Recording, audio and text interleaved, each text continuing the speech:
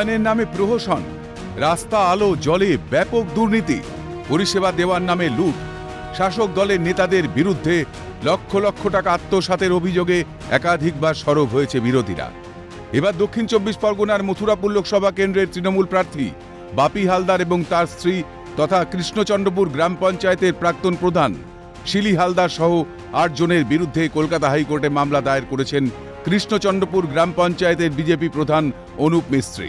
অভিযোগ, কাজ না করেই টাকা তুলে নিয়েছেন প্রাক্তন পঞ্চায়েত প্রধান শিলি হালদার। শুধু তাই না, একই কাজ দু থেকে তিনবার দেখিয়ে টাকা তোলা হয়েছে অভিযোগের সায় বামেদের।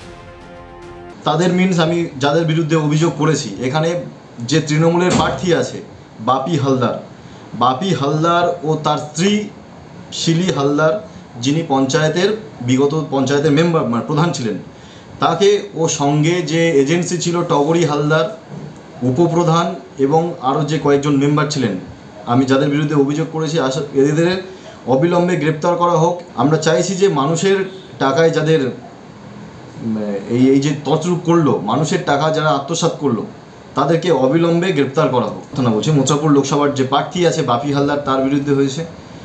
যিনি উপপ্রধান আছেন, চন্দ্রশেখর তাঁতি, বর্ণালী হালদার, লতা প্রামাণিক, এই আটজনই আছেন। একই কাজ, দুবার, তিনবার দেখানো হয়েছে কাজ হয়নি, তেমন বিল হয়েছে এবং সেটা তদন্তে ধরা পড়েছে। এবং কংগ্রেসের জবাব কি দেবে?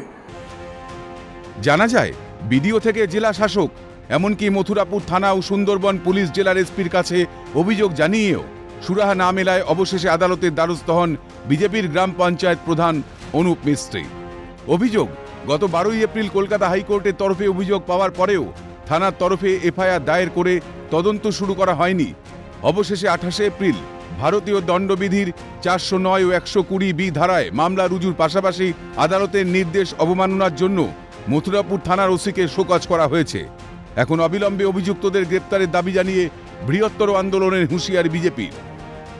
হাইকোর্টের সত্যতা এটা দেখেছে, তাই জন্য হাইকোর্ট এই কেসটা গ্রহণ করেছে। না হলে তো লোয়ার কোর্টে পাঠিয়ে দিতেন।